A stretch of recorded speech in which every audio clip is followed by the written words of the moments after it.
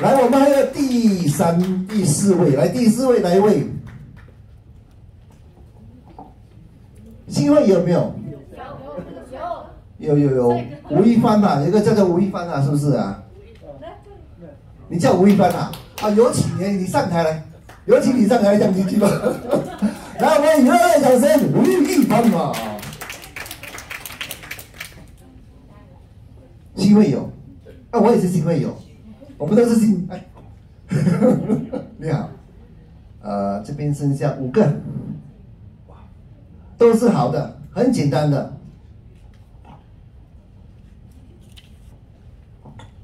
例会重不重要？我们看他怎么讲。啊，例会，今天我们来的就是一个例会。我想例会应该是一个，呃呃，跟着刚才刚才这位大哥的声音来说，就是它是一件很重要的事情。呃，因为我觉得例会是可以，呃，大家坐在一起，呃，互相的交流，隔一段时间。啊，互相交流自己学习的心得，然后呃，继续的呃，在例会结束之后啊，继续的前去发展啊，然后呃，总结自己的经验，呃，等到下一次例会的时候，大家在一起过来共同成长，呃，同时呃，例会也是一个呃，其实像今天就是我第一次参加这个例会，嗯，对我来说这是。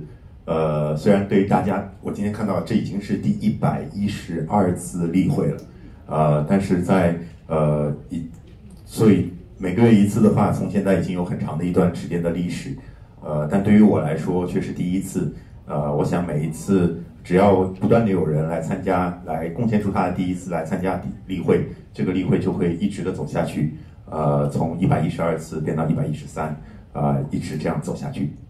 呃，我的分享就到这里，谢谢。好，谢谢。例会重要，例会非常重要啊。